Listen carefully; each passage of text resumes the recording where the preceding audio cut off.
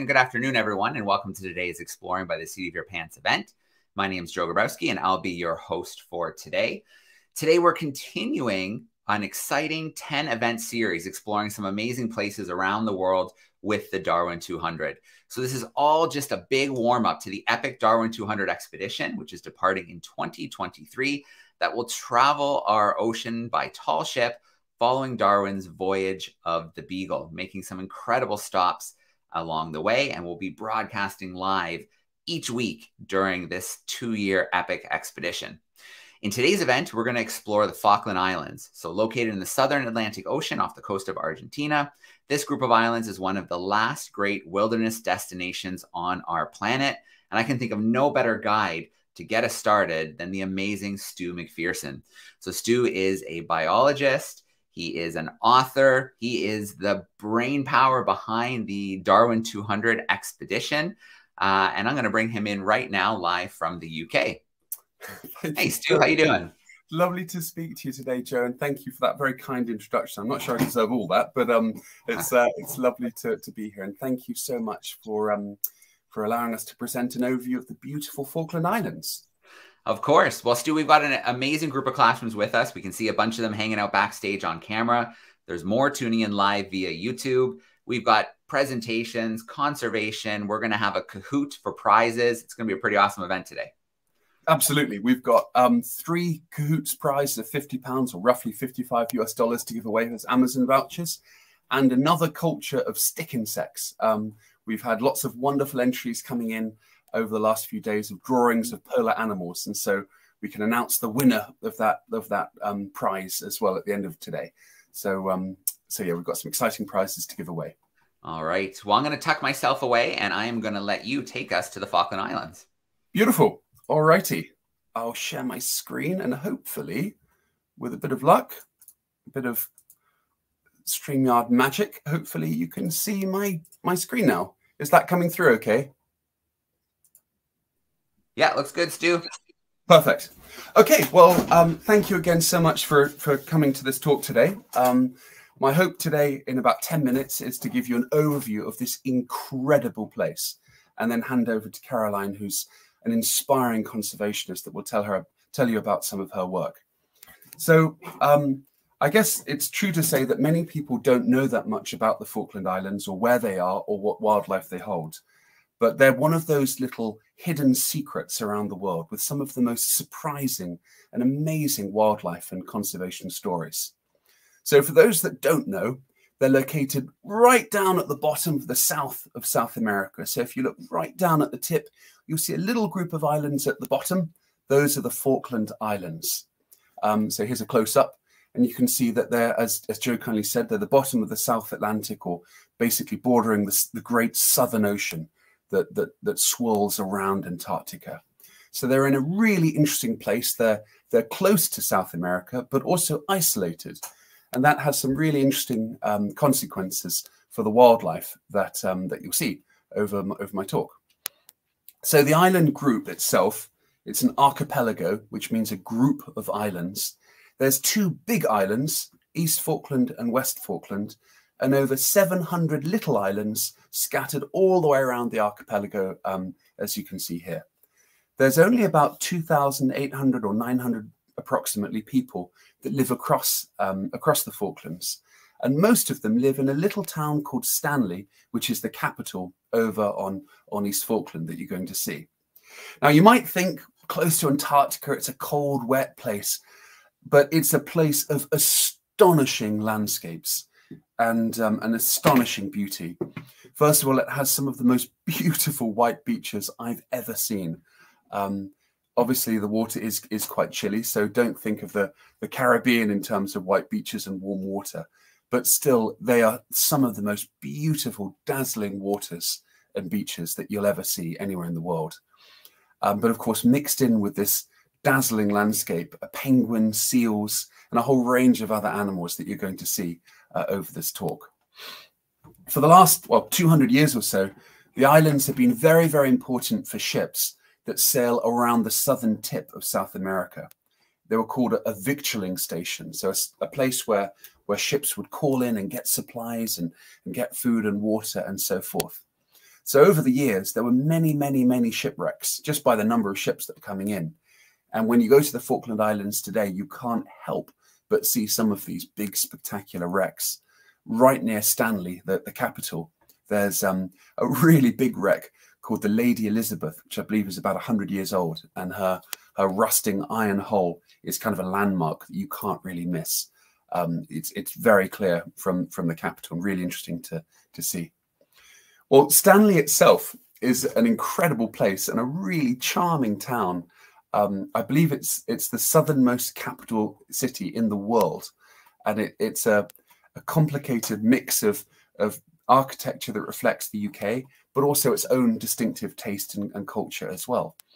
Um, it's home to some of the world's most southerly pubs where you can have fish and chips um, right on the, the southern tip of, of, of, South America. So it's a, a really, really interesting place in, in that sense. And this particular pub, the Globe Tavern, is a bit of a local icon. And so if you ever visit the Falkland Islands, you definitely have to visit this place and, and try some of the, the beautiful local food that they that they have there. Um, for hundreds of years, Stanley has been uh, connected to exploration of Antarctica. It's where many of the great explorers stopped at either on their journeys to or from Antarctica, including including Shackleton, uh, Sir Ernest Shackleton, his great adventures, who I know you've heard uh, through other exploring by the seat of your pants talks. But it also has a really interesting connection to the whaling industry that, that, that continued right up into the 60s and kind of echoing that outside one of the large churches in Stanley, there's a whalebone arch made of three jawbones of these great whales. Obviously, you're going to hear about the conservation of these great whales um, in Caroline's speech, but it's just a really interesting connection to the past, this arch. Um, so if you put your hands on your mouth, on your jaw, your your jaw bones at the bottom of your mouth, you, you've got basically, it forms like an arc on the bottom of your mouth. Um, if you then look at this arc, this arch, and see how enormous these whale jawbones are, that gives you a bit of an idea of the scale and the size of these huge baleen whales. Stanley's a really, really colourful place. Um, it's home to the majority of the people that live in the Falkland Islands. And today it's really busy with lots of ships that go to Antarctica. Um, it's, a, it's an important place where the ships call in um, before heading south to the Great White Continent. Many of the Falkland Islanders, though, still live on many of the really remote islands, um, and more so in the past in particular.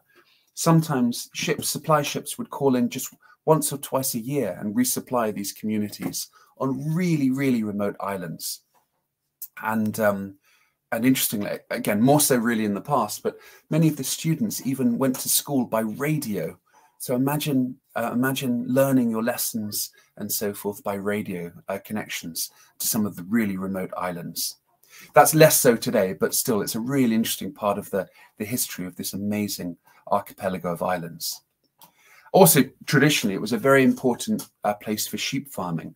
Again, less so today. It, it's less important um, as part of the economy of the islands today, but still, it has this really interesting history of these ranches of sheep um, across this beautiful landscape.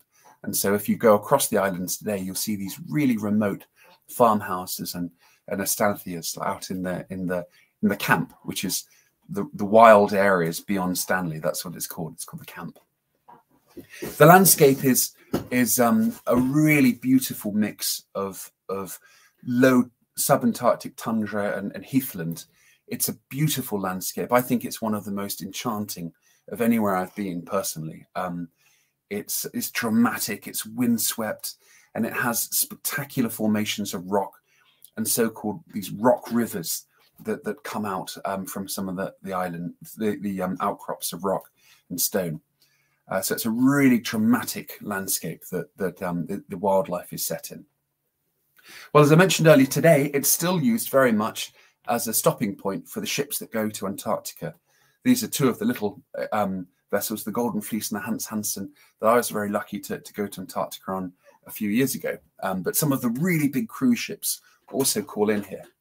But many people also visit the islands for their amazing wildlife. Um, it's very hard to summarize some of the incredible range of animals and plants that the Falkland Islands are home to. But, but in a nutshell, in a few minutes, here's some of the highlights. So one of the first things that you'll see when you visit the islands by boat um, are one of the world's smallest species of cetaceans. These are called Commerson's dolphins. Um, in some parts, they're also known as sea pandas because of their black and white coloration. And they're just over about a, a meter, just over a meter or so in size. And they're incredibly playful. They jump out of the water around the bows of the, of the ships and also cruise along the waters. This is a, a photo I snapped just literally along one of the beaches. Um, and the, the dolphins play in the waters. The Commerson's dolphins play in the waters just as the uh, as, as the waters break, the waves break on the shores. The islands are also home to five species of penguins that are all really, really easy to see. Um, and this is one of the wonderful things in the Falkland Islands. Many people say that they're a, a wildlife secret because they have many of the incredible animals that Antarctica and South Georgia have, but without the long sea journeys. So if anyone wants to see penguins but doesn't want to go uh, on a boat, then you can fly to the Falkland Islands and see some of these amazing animals up close.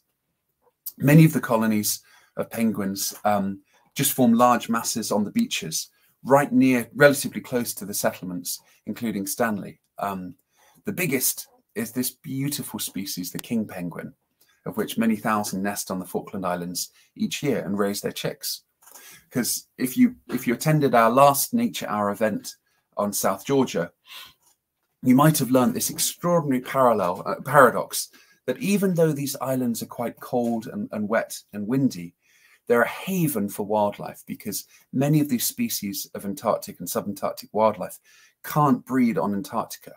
So they move north during the winters and, and concentrate on islands where there's a little bit of land and a little bit of warmth to raise their chicks. So in a way, you can think of the Falkland Islands as a magnet pulling hundreds of thousands of, of seabirds and marine mammals each year that come to this beautiful group of islands to, to rear their young and, and overwinter. And that's certainly true for albatrosses. Um, the Falkland Islands are home to the world's largest population of, of albatrosses on Steeple Jason Island. Um, this is the black-browed albatross colony, uh, as you can see here. Um, I believe, and Caroline might correct me later, but I, I believe if I remember correctly, it's about home to, to 200,000 pairs, which is an immense colony. And I believe it's the largest in the entire world. And the albatrosses form these, these special raised nests in which they lay their eggs. If you look really carefully here, um, you can see the big fat fluffy chicks. Those are the grey chicks with the black beaks um, sitting on their nests, um, amongst of which there's some of the adult um, black-browed albatrosses, which are black and white with the pink beaks.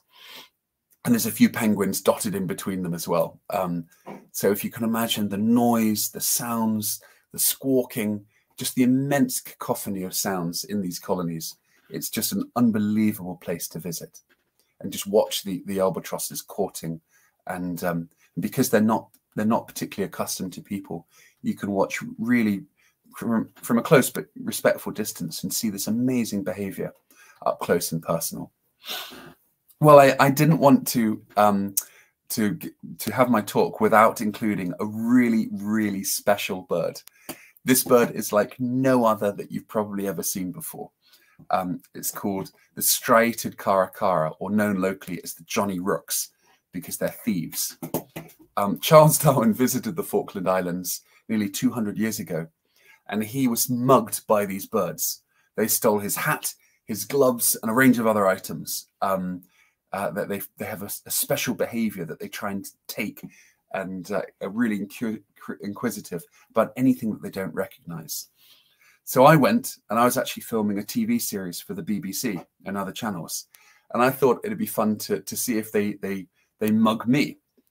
So I sat down amongst some of these these striated caracaras and before I knew it, I turned my back and one of them had opened my bag. I had this little leather bag and had stolen my notes. and um, another one um, was pecking at my bag. And while I was trying to get my notes back, another one stole my wallet and took out all the coins. They are incredible. I've never seen any species of bird that, that is quite as cheeky as these guys. They steal anything they can get their beaks on and fly off with them. And um, I actually made a little video for YouTube. You can you can look at it online if you just type in the wildlife of the Falkland Islands, and you'll see these these cheeky birds stealing all of my my notes and my coins and, and everything I, I had. So it was just like um, Charles Darwin's visit. And I left, yeah, ha having been robbed by these birds. Well, I should also mention the Falkland Islands are home to many, many endemic species. As you might remember from our last uh, Nature Hour event, endemic means a species of animal or plant that occurs only in one location of the world and nowhere else. And this is definitely true for the Falkland Islands and especially for their birds, bird life. There's this unique Cobb's wren that is found nowhere else in the world, just here, and a special type of duck called the steamer duck that has really small wings and can't actually fly um, because um, because it, yeah originally it, it, it, occurred on islands where there were less less predation than the mainland, so it evolved that characteristic. So there's some really really special birds that occur nowhere else on Earth. So these are really interesting to see. Um, beyond birds, of course, it has some amazing marine mammals. Um, it has many southern, southern, sorry, South American sea lions and South American fur seals as well. Subantarctic fur seals, sorry. These are the sea lions here with their big ruff um, of hair around their throats, which is said to be a little bit like a, the mane of a lion. And so they're, they're really interesting to see. And of course, it has big, spectacular elephant seals that battle on the beaches. These guys are huge. They can be many, many, many meters and tons in weight. Um, and they battle. The males come onto the beaches each winter and battle for their harems. Sorry, each each each summer. Forgive me. I'm thinking northern hemisphere. Each each um, summer from November to to um, February or so, uh, they overwinter in the, the southern hemisphere summer here in the islands and they fight with their their big mouths with teeth and and battle each other almost like hammers, um, battling each other um, to take control of the beaches and the harems of females. There's one other really interesting animal um, that did occur on the Falkland Islands. Um, it was known as the warrah, or colloquially as the, the Falkland Islands wolf. And it was a, a unique dog-like animal, a, a canine, that, that was distinct from all other canines in South America. It was endemic to the Falkland Islands. Very, very sadly, though, Darwin, when, when he visited, he noted how easily it was being killed. People could just hold a piece of meat up and the, the warrah would come because it was so tame and snatch the meat out of the hand. And the, the person could then just kill the animal with a knife. And unfortunately, that happened a lot in the 19th century. And eventually they faded into extinction. So all we have today um, some of the, the beautifully preserved bones of the Warrah in the Falkland Islands Museum and several other museums around the world. So a bit of a sad story in that this this species did unfortunately become become extinct. Um, but today there's some incredible conservation work taking place, including the restoration of many of the islands that had tussock grass and huge colonies of birds. Many of these were impacted by introduced rodents and and particularly rats over the last 200 years. But the Falkland Island Conservation Team are doing incredible work restoring the tussock grass and um, and some of the, the, removing the rat populations on some of the islands, as you you hear in, in Caroline's talk. So that's a very very quick overview. I'll, I'll stop there. I've got a deliberately got a, a blank slide here to um to hand back to uh, to Joe because we will announce the competition winner of the stick insect competition uh, in a second after Caroline's talk. So um, a huge thank you for um, for listening to my quick overview of the um, of the wildlife of the Falklands, and we've got three prizes to give away. So I really hope the students uh, um, listen carefully and can take take part in in Joe's questions. All right. Well, thanks, Stu. That was an amazing journey to the Falkland Islands. Hopefully, it piqued our students' uh, curiosity to explore this this wild wilderness place that a lot of people don't know about. So, uh, if you are ready for some Kahoot action and a shot at those three prizes, those three Amazon gift cards, I can see classrooms have joined already, but for those who haven't, I will pop this little banner here. If you head to kahoot.it, it is going to ask you for a PIN number. And I'm going to share my screen and give you that PIN number right now. Just bear with me for a moment. There we go. So you should see it now. You can see we've got lots of students here with their animal names like the Stellar Gnu and the Fast Frog and the Jolly Dog. So your PIN number is 6700041. If you have a one to one device at your desk, you can join right there. Uh, if not, your teacher could put up at the front of the classroom. You could yell out your answers to him or her. Oh, lots of students coming in now. Um, if you have a device handy, like a tablet or a phone, you could even scan this little QR code. So as more students join, a reminder, this will be three questions, might be some true and false, might be some multiple choice. Um, you get the answer right, you're going to get some points. But more importantly, the quicker you get that right answer in, the more points you're going to get. If you get that wrong answer in really fast, we got nothing for you today. You need that right answer uh, as quickly as you can for those extra points. So a couple more seconds because students are still joining. If I look down the list, we've got lots of students coming in here behind the scenes, lots of classrooms. That's great.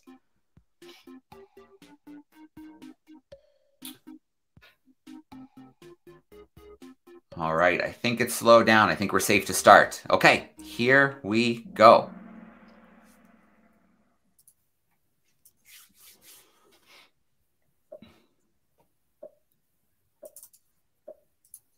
All right, first question coming up there about how many islands make up the Falkland Islands? That archipelago of islands. Was it two? Was it 50? Was it 200 or around 700? So, about how many islands make up that group? Don't try and use that map. We can't see them all on that map. You'll never count them all.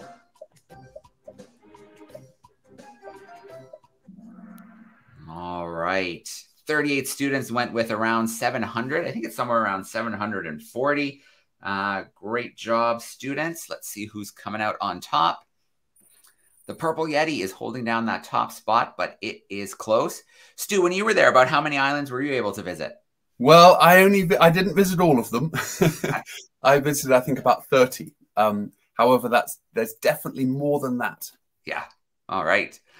Our next question is a quick true and false question. The capital of the Falkland Islands is Stanley. Is that true or is that false?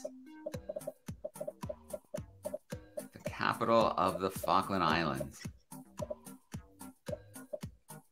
Got about five more seconds to get that answer in.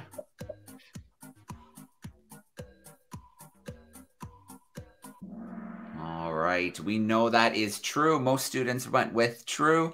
And what does that do to our leaderboard? The Wonder Dingo has jumped into uh, first place. So this is what it all comes down to. It's still really tight. This is the final question. This is about penguins. How many penguin species are found in the Falkland Islands? Did Stu say there were two, five, seven, or ten species uh, of penguin found on the Falkland Islands?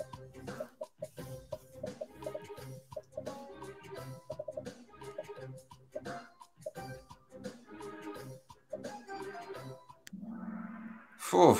Most students went with five species. Absolutely correct. Now, the fun part our big prize winners. In third place, we have the adorable raven. In second place, we have the purple yeti. And holding down that top spot, we've got the wonder dingo. All right. Good job, everybody. Congratulations to our winners. I'm going to share my email address in both the YouTube chat and in the private chat for the classrooms.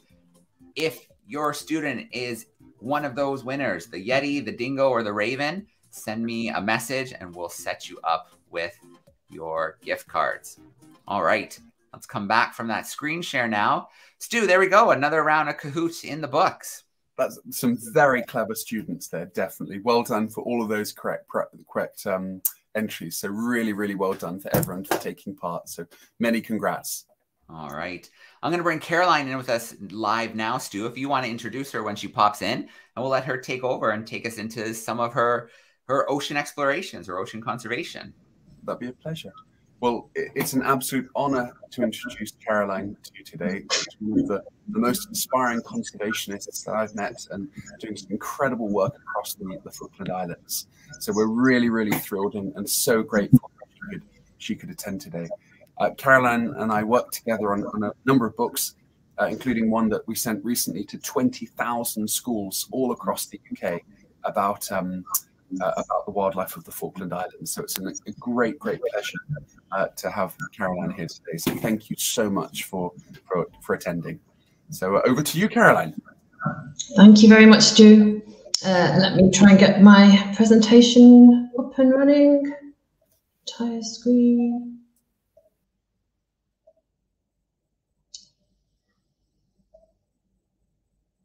Okay, hopefully everybody can see this. Um, so thanks very much for inviting me along to, to do this little talk. Um, I'm very fortunate that I work in the Falkland Islands. I live there for most of the year and I'm working for a small local charity in the islands called Falklands Conservation. And they do quite a lot of different work, some of which uh, Stu has already touched on. So we do seabird monitoring, um, keep an eye on the penguins and the albatross, make sure that everyone's healthy and the colonies are, are doing well. Um, we also do a lot of habitat restoration work, um, planting tussock grass and uh, yeah, looking after all the wild uh, plants and peat and some of those other local environments around the Falklands. And then we have a, a, marine component, which is what I take care of, and that's monitoring the whales and dolphins around the Falklands. And that's what I'm going to talk about just now.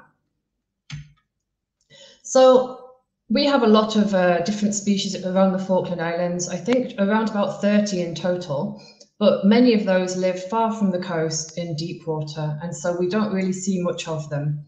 So the species I'm going to tell you about are the ones that live around the coastline around the Falklands that you can see fairly easily from shore, most of these animals. Um, and they are, you know, it's a very special environment around the Falklands for the for, for cetaceans. And by cetaceans, we mean whales, dolphins, and porpoises. So I'm working mostly on two species of whale, and I'll start by telling you about those. So this one is the first one. It's called a sei whale, which a lot of people have never heard of, and that's because in most places around the world, it lives a long way from the coast, and it's not very common. It's actually globally endangered. Um, so, you know, the populations were hunted very heavily during the whaling period, and they are just starting to recover now, and we're starting to see a lot more of these whales in the Falklands and elsewhere. So this is a large whale. It's about 15 meters long on average and very long and sleek. And you can see it's got a big dorsal fin there, um, you know, situated quite far back on the back. And the way that we spot these is from these big tall blows that they, they produce in the bottom picture. So every time they come up and breathe, they produce this big blow. And we can see that from, you know, 10 kilometers away. So when we're out on the boat, this is the what we look for, and then we go up to the whales and we, we try and work with them and collect data. So you can see in both of these pictures that the sei whales in the Falklands are occurring quite close to the coast. And this makes the islands really special because everywhere else in the world, they're usually a deep water species that no one sees. So we're in a, a very unique position in the Falklands being able to research this species. And the reason why the sei whales come to the Falklands, they, they visit in the summer and in the autumn. That's the southern hemisphere summer and autumn, of course, so it's, it's different from ours up here in the north. Um, and they come there to feed. So this whale, if you can imagine, it's lying on its side at the surface, and you can see on the left-hand side, the jaws are open. And inside that mouth, you can see all those um, baleen plates and, and those kind of fronds of um, hair and that's what they catch the food on. So this animal is gulping at the surface on some small crustaceans. And this is why they come to the Falklands every year. We see the same whales coming back every year. Um, and we're working hard at the moment to understand how many there are, whether they're recovering well from the whaling, and um, what are the important habitats for them around the Falklands. So that's the sei whales. The second species I'm working with is this um, big old whale here called the southern right whale. And you can see, I mean, it's not so clear in this picture, but this is a very large animal. It's also about 15 meters long, but it's much, much wider. And it, some of you might be familiar because there's also a right whale in the northern hemisphere. And so the North Atlantic right whale lives along the coast of America and Canada on the east side. Um, and that species is some of you may know already, critically endangered and not doing very well because of entanglement in nets and they get hit by boats quite often. Um, so they're not doing well. In in uh, in the opposite, in the southern hemisphere, these southern right whales are, are doing pretty well. And we think during the whaling era, there was no more than 300 animals left at, at one point.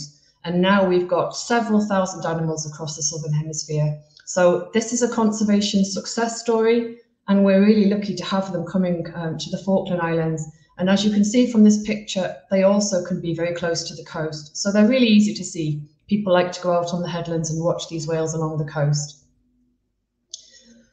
The other thing about right whales, both both species, is that they're super friendly and often very curious about the boat. So in this picture, you can see the side of our research boat at the bottom of the picture, and this whale has come up and basically decided to have a look at us, see what see what's going on. Um, and we get these kind of encounters fairly regularly in the Falklands with friendly whales. And you can see that this would have made them very easy to harpoon during the whaling era because they are quite a friendly and approachable whale.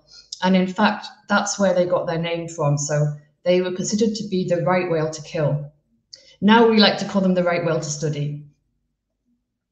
And the reason why these animals are coming to the Falklands um, is the opposite from the sei whales. So these ones come to our nearshore waters during the winter, and they like to spend the peak of the, the winter in the southern hemisphere around the Falkland Islands, and they come there to mate.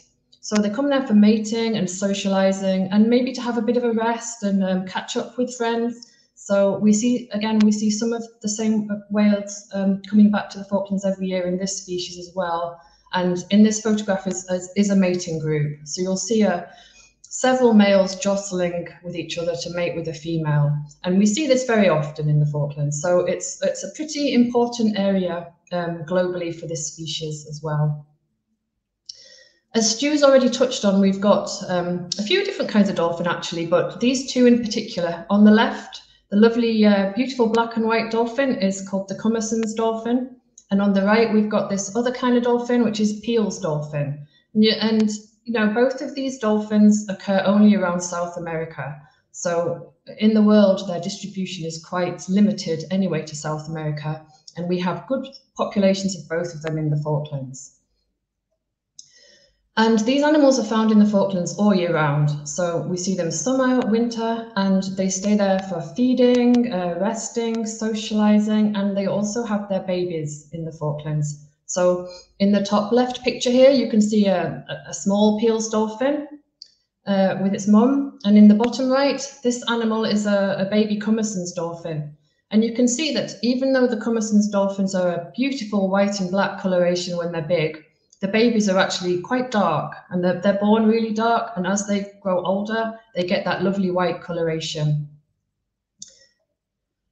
And both of these dolphins are, are a lot of fun to work with. Um, they don't see a lot of boats. So in the Falkland Islands, there's really not that many um, places with boats. It's limited to Stanley, and then we get cruise ships coming occasionally.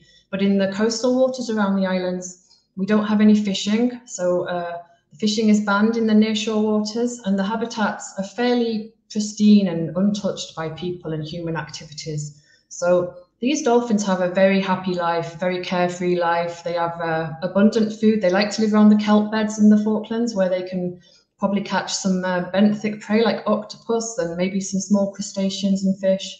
And a lot of the time, they just seem to rest up in these bays um, and, and play with each other and socialize. And when they see a boat, it's so unusual for them to see a boat that they they greet every boat with a lot of enthusiasm. And uh, yeah, we love we love working with these dolphins.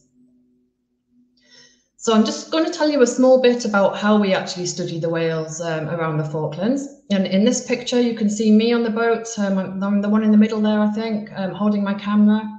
And this is a, a, a nice big sei whale so one of the main things that we're doing around the islands is collecting photo identification data. And, and what that means is taking really high quality photographs of um, the key features on the different species. And then we make catalogues of all the distinctive individuals so that we can recognize them over time. So in this picture, you can see on the left, we've got um, the dorsal fins of a sei whale. And these were taken in two different years. You can see 2019 and 2020. And this animal has a really distinctive dorsal fin. So you can see those little nicks in the dorsal fin at the top. And so we can recognize this animal over time. Maybe if I go out next year, I'll be able to photograph it again and I'll compare with all the pictures we already took. And this way we build up a catalogue and it helps us to understand how many whales there are and their movements and their distributions. So one of our sei whales we, was actually photographed in Brazil as well. So we're able to look at where the whales are going to when they're not in the Falklands as well. And on the right, you can see here is a right whale. Um, they do not have dorsal fins, so we have to use the head pattern um, of this species. And you can see on the head of the animal is these patches of hardened skin. It's a bit like um, calluses on your foot or maybe your mum's foot. um, and over time, these areas, they have um, little crustaceans live in them, lice and things. So they become this kind of yellowy color, um, kind of mottled color. And the pattern of these areas of hardened skin is unique to every animal. So again, we try and photograph the side of the heads with the right whales. And in the same way as with the sei whales, we can then work out how many animals there are and where they're going, how long they're spending in the Falklands, and that kind of thing. So this is a, a major part of the work that I do in the islands is, is photographing the animals like this. Another thing we're looking at is with the sei whales at least, is what they're eating, because we know that they come to the Falklands and they use it as a feeding ground, and then they move away for the winter and they go somewhere else to have their babies. But the Falklands is a very important feeding ground in the southern hemisphere. And so these pictures on the left are actually of whale poo. So this whale's come up and it's done a poo at the surface and it leaves this big orange cloud that's full of um, little parts of crustaceans, it turns out. Um, so you can see on the right is all these little tiny lobster krill. And these are what the whales like to eat. They're just like a few centimeters long, um, these animals. And this is me trying to collect one of the poos. So it is what it sounds. It's like when you when you're cleaning up after your dog, it's pretty much the same thing. So I take a net and I literally just scoop the poo um, and then it's put into little pots that we send away for analysis. So in this way, we can tell what the whales are eating and that helps us to understand why they're there and which areas might be most important for them.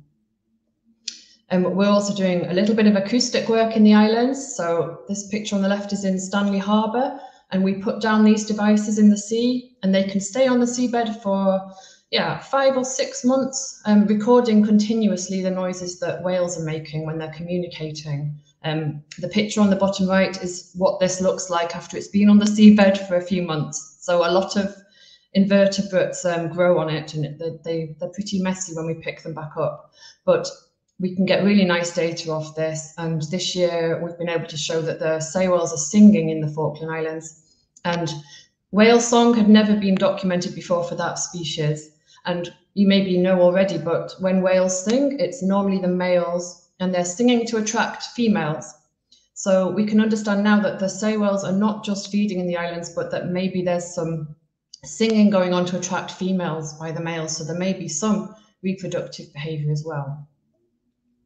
And then this year we've started putting some satellite tags on the whales. Um, and so in the top picture on the left, you can see this is a sei whale. And because they have nice big dorsal fins, it's very easy to put little tags onto those. The right whales don't have nice dorsal fins for attaching anything to, so those tags we have to attach um, to the body of the whale. So in the bottom left, you can just see that little silver disc um, on the shoulder of that whale. Um, so that's the tag. So both those animals were tagged this year. And on the right, you can see um, the tracks from one of the right whales. And this just gives you an indication of how far these animals can move and swim. So you can see um, the Falkland Islands there in the middle of that picture. And down at the bottom is the Antarctic Peninsula. And then we've got South America in the um, top left of that picture. So after we tagged this whale in the Falklands, it swam all the way down to Antarctica. And it spent several weeks down there feeding in one little area before it started to move up again. And at the moment, it's up there off, uh, off Argentina feeding in that area. So, and this has all happened in just a few months. So you really get an idea of how far these animals are capable of moving and um, and they surprise us all of the time because we did not think that a whale would go south to Antarctica in the middle of winter, but that's exactly what it did.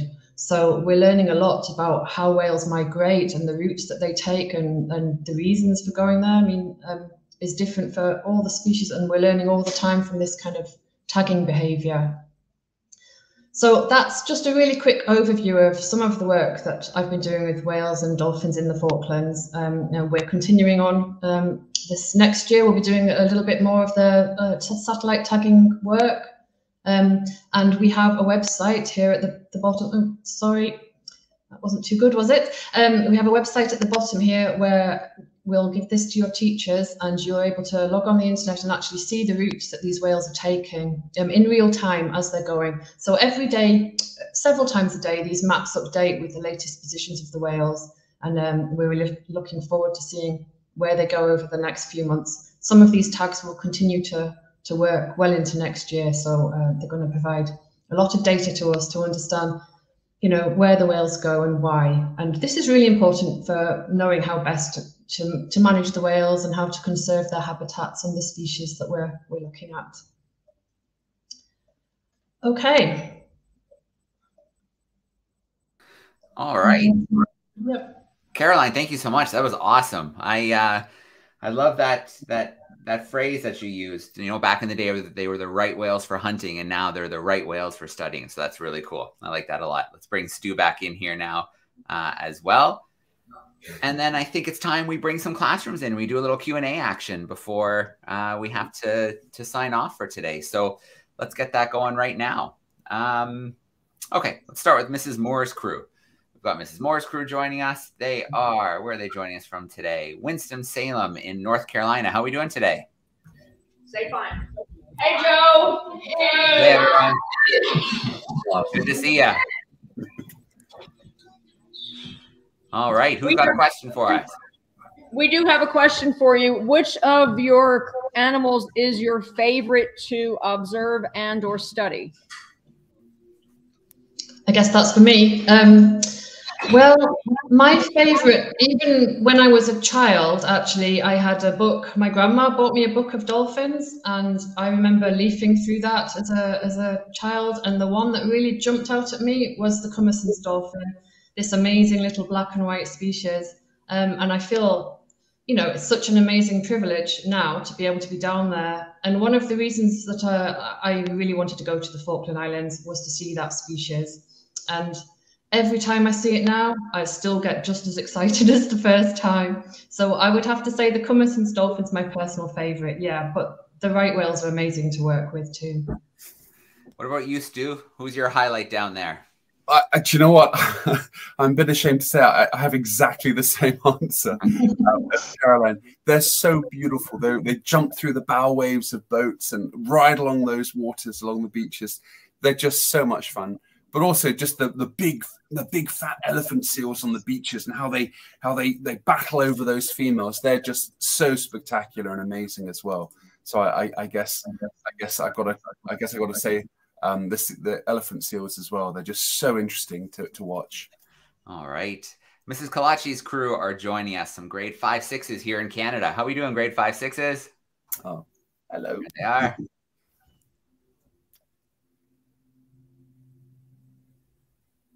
Oh, I think I don't think the mic came off. I think you might have missed the button. Oh, hello.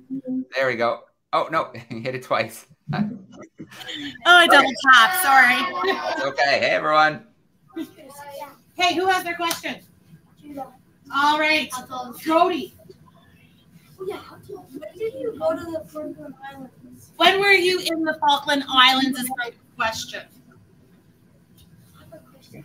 All right. So, Caroline, when or how often are you in the islands? Yeah, so I went there for the first time in 2016 and I left there one month ago. so currently I'm in the UK and I'll be going back to the Falkland Islands um, between Christmas and New Year. So I'm there, I'm there nine months out of the year. What about you, Stu? Well, I haven't actually been for a couple of years because of the COVID pandemic, but I'll be there in February. So um, so yeah, I, I, I haven't been for a few years, but but I, I yeah I can't wait to get back down and and see see the islands again. So yeah, February for me. All right. We've got to visit another classroom this time. We've got Mr. Patrick's crew hanging out in London, Ontario. Some eighth graders. Let me bring them in front ah! center. everyone. We have a question from Wea. What is the furthest distance you have seen a whale migrate on satellite? did it surprise you how far it went? Yes, I mean, for the whales that we've tagged in the Falklands, the two species were quite different, and the tags themselves are quite different. So the sei whales, the times that the tags were on for, just stayed around the Falkland Islands, and the batteries on those tags only lasted up to two months. So that whole time they stayed in the Falklands and didn't migrate anywhere. And we were expecting that because we know that they like to feed down there for several months out of the year um, before they move away. So that was the sei whales. Didn't really go very far, but that's still interesting because it just shows how important the islands are. Um, and then the right whales, yeah, I mean the right whales they are they are travelers, and we know that this species can move from the Falkland Islands to South Africa. And then the tagging work that we've done in the islands has just showed the whale that I showed you in that track has gone all the way south to Antarctica and then all the way north, um, almost up to Brazil. So it's a super long way, really. And he's done all that in just a couple of months. So, um, yeah, it challenges what we think about as a migration too, because I think normally when we talk about humpbacks and other whales, we think about them going from a breeding area to a feeding area, and that's it. But what we're actually seeing is that the whales they'll go up, they'll go north south multiple times to different places within one one year. Um, so it does change what we think about in terms of whale migrations. All right, Florida, Florida. We got Mr. Lavogue's crew with us. It looks like they might have had to leave maybe for a class change, but did they leave a question, Mr. Lavogue? Yeah, absolutely. They left three. Um, they had a bunch prepared in advance, and then I believe Caroline mentioned about the fishing laws and rules in the Falklands, and now all eyes shifted to me because we're in South Florida, and fishing is what every kid does, and uh, so they were surprised that there were so many. Like we have laws for fishing, but we're allowed to fish. So are you saying that even the residents of the Falklands are not allowed to fish? How does that work? No, what I'm saying is there's there's a three nautical mile limit around the Falklands in which commercial fishing isn't allowed. So we're not, you know, there's no set nets, there's no trawlers, there's no longliners, and actually, um, near shore there's not a huge number of fish, surprisingly. So, um, and, and that ban is because there's a lot of squid, a lot of commercial um, fisheries focus on squid in the islands. It's a very big, important um, part of the economy.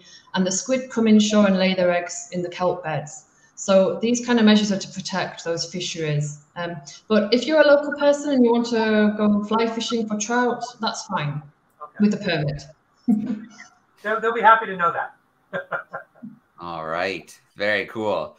So uh, we need to squeeze in a couple more classrooms. Caroline has to go shortly, but we can. Uh, Stu will be able to stick around for a few extra questions, but I want to make sure we get one round in here with the the main group. So New York fifth graders with Mrs. Cottrell. Let me bring you in front and center.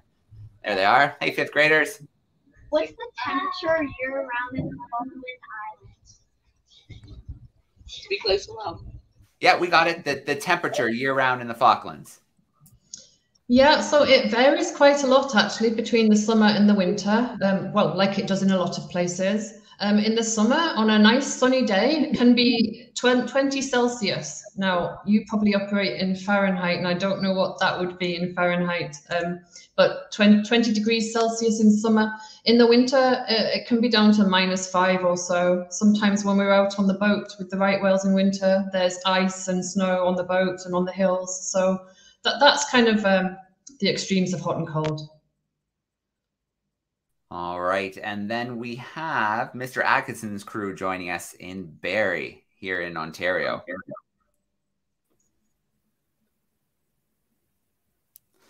Oh, Mr. Atkinson, the, the question's not coming through. And it's unmuted, so that's peculiar. Here we are. Got it. We're good now. What has helped the whale population recover from the big loss? Did you hear that?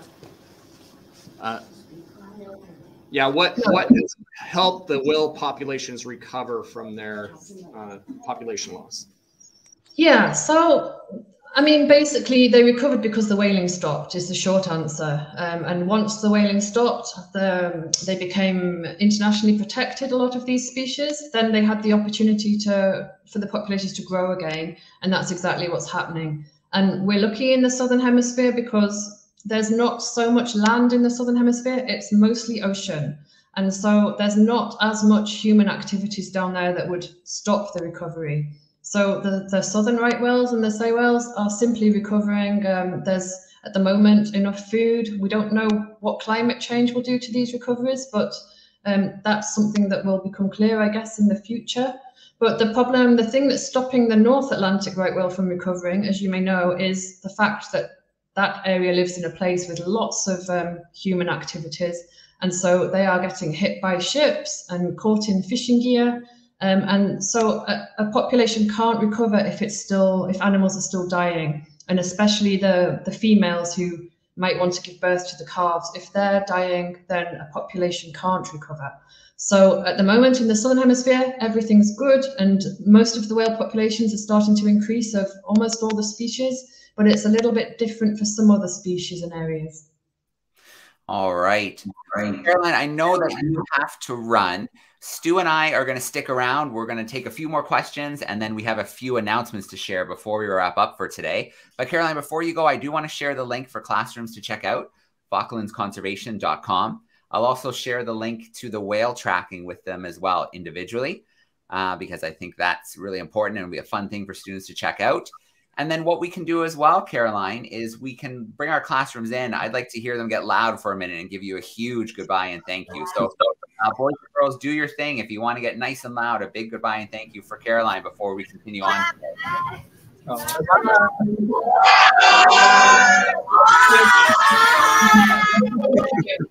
Wow. thank you very much, guys. Thanks for listening. All right. Caroline, thank you so much. We'll see you soon, hopefully. Yep. Thank you. Bye. Bye.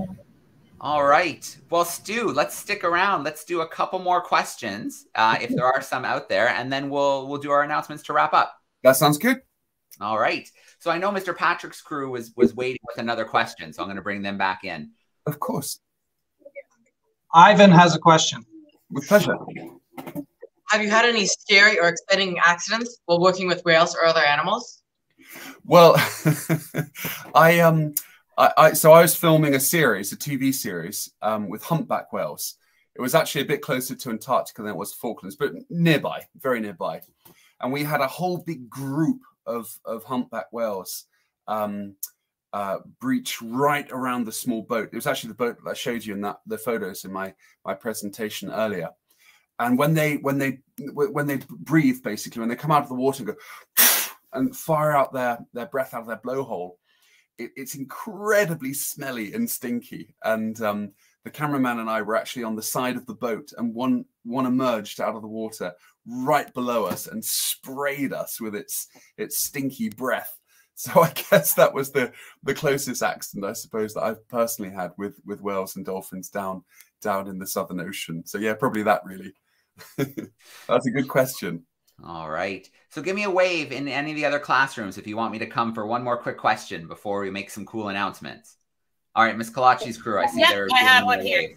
Oh, All right, Shani. Um, how how would you know a male whale from like a female one?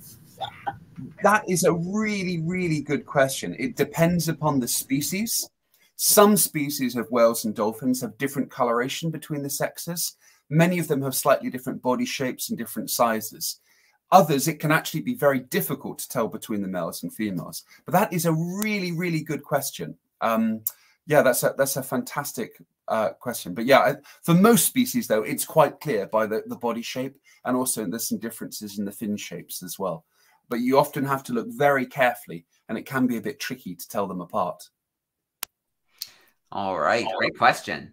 Uh, just check in quickly, Mrs. Moore's crew or Mr. Atkinson. Give me a wave if you have one more question for us. Yep. Okay, Mr. Atkinson's crew. Oh, and we'll visit Mrs. Moore and then we'll make our announcements.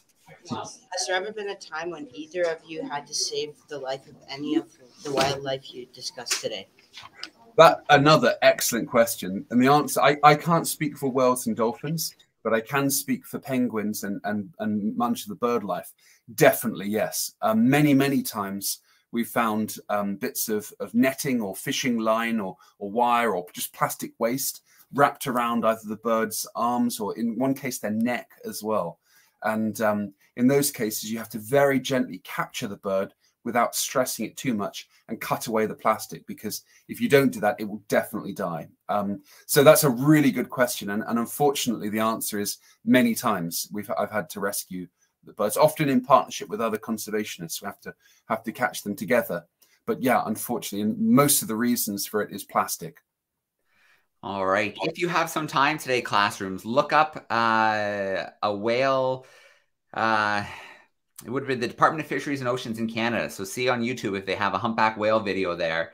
There was a whale that was caught in some fishing gear. It was wrapped right through its mouth. And so they, they were able to record the release where they were able to get the whale, the fishing gear off of the whale. So uh, it happens even with animals as large as whales. And then those are some pretty uh, intense rescues to try and get the gear off of them. Yeah, definitely. Okay, um, North Carolina, final question. At what point in time did you decide this is the career path you wanted to follow? well, I've personally always loved nature, even since I was a little little kid. So I, I didn't really have a choice. Um, I, I, do different conservation projects, but also different filming projects as well, and documentary projects. Um, but I, have always loved, loved, loved um, trying to work as much as I possibly can with nature, and been really honoured to work with with the team down in in the Falkland Islands. So I, I, guess the answer to your question is always I've just had no choice ever since I was a little kid to to go into this. All right. Well, Stu, let's get uh, to the announcement portion. I know there was a mini competition where you've collected yeah. some uh, some photos. So absolutely, yeah. I'll just share my screen and um, and hopefully you can then see um, so each each for each Nature Hour event, we give. Oh, sorry, I have to go down to the bottom. Each Nature Hour event, we give away different prizes. Um, and um, this week's prize was a drawing competition. Children from all across, uh, sorry, from well, from all across schools have been sending in drawings of different polar wildlife. So, for example, polar bears from the North Pole, or um, or whales, penguins, and seals from the South Pole. Um, the judges, we had about 200 entries, and the judges decided that um, Vihan from Riverbridge School, Riverbridge Primary School near London, was the winner. So um, uh, Vihan School is going to win a whole culture full of beautiful stick insects called jungle nymphs. So many, many, many congratulations to, to Vihan. For the next nature event, we have a mini jungle to give away uh, so you can grow lots of amazing plants in your classroom, both seeds and, and live plants. So we really hope that these um, these nature kits will help give you some really great inspiration and interest for, for looking into nature and, and rearing amazing plants and stick insects in your classroom because they're they're incredible to inspire passion for nature. Well, the last two bits from, from my side are basically to, to explain about the upcoming Darwin 200 voyage. We're going to be visiting the Falkland Islands next a year in January, so January 2024, so a year in year from next January. We're going to be doing live lectures from the Falkland Islands, hopefully showing you some of these amazing animals live via satellite link. So please, please keep stay tuned, ready for these events taking place. The Darwin 200 voyage is a, is a voyage aboard a incredible tool ship called Oosterschelde. And it'll be going right the way around the world following Charles Darwin's journey on, on HMS Beagle. We'll be doing live events from all of these amazing ports around the world. This is the ship there, and these are some of the photos of its last visit to the to. This is actually South Georgia, but still, you, you see some of the amazing things that we'll be able to beam live from. And then, last but not least, we've got future Nature Hour events coming. Uh, we're going to schedule them over, particularly over the start of next year from the lost worlds of Venezuela, home to this amazing landscape of, of sculptured stone, to the lava lakes of Erta Ale in Ethiopia, and the unbelievable landscapes of sulfur um, nearby in Ethiopia. And then last but not least, the amazing landscapes of Madagascar with the unique aye and many other interesting animals from Madagascar. So we really, really hope that you can join us for those upcoming events and um, can take part in future future Nature Hour events with Exploring by the Seat of Your Pants. So I guess that concludes the program from my side today, and it's really great to to, to see you all, and thank you so so much for attending. All right. Well, Stewart, that was phenomenal. The last two events, South Georgia and this one, have been a great start to this series. Uh, I can't wait uh, for some new ones. I know you're going to be traveling a bit, so we we might wait to the new year to get the new ones going, but that should be a lot of fun. Uh, and then if you want to catch the past recordings, so we'll have them posted up here at exploringbytheseat.com backslash Darwin 200. And then as we announce the new events, we'll put them up there as well for your classrooms to register uh, and join into those live events. Well, Stu, that was amazing today. We learned a ton about the Falkland Islands. We had our Kahoot action. So hopefully I get emails from our top three uh, winners there. Uh, and then, yeah, a huge shout out to the winner of the the contest for the the stick insect culture. That's really really cool. Cool, wonderful. And that do, please, the schools that have what did won those prizes, do send over your email addresses. Otherwise, we can't contact you. So you, you need to to send Joe an email. Then we'll send the vouchers straight away, so you can buy um, educational items. So a big big thank you for everyone taking part today. All right, we're going to sign out for today. We still have a few classrooms hanging out backstage. We'll give them another chance to say goodbye. Have a great week, everybody. Uh, we can't wait to see our series. Thank you.